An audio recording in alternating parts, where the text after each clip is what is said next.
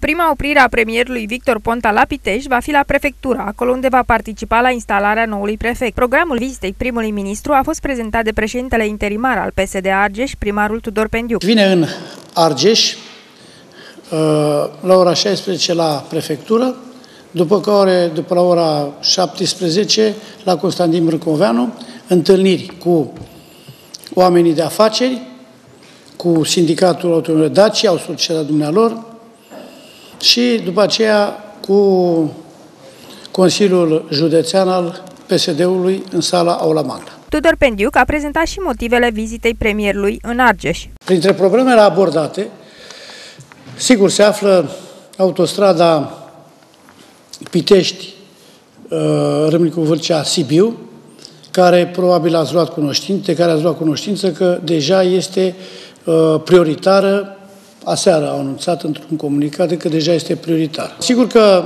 pe punctele de, de discuție administrativă va fi și realizarea centurii de vest a Piteștiului, cea care prelungește breteaua care vine pe la petrochimie, merge pe lângă acum groapa de gunoi și ajunge la, uh, la Bascov uh, în uh, naționala care merge la Remnicu Vârcea Sibiu, actuala națională.